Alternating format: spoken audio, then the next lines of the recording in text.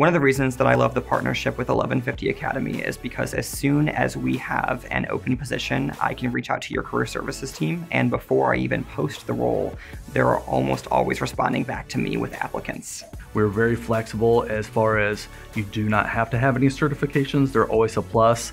Um, but we find that when people come in and they do not know exactly what we're doing, we will point them in the right path, uh, make sure they're going down the right direction. Uh, we have plenty of people to help out and put them in the, the best position to grow what we have been able to really do is say, you know, this is where someone from Eleven Fifty is going to be able to uh, contribute on day one. This is like their core skills. And then with the training that we can help provide for them, we can say, hey, in, in 60 days, this is what they're going to be able to do. And in six months, here's what they're going to be able to do.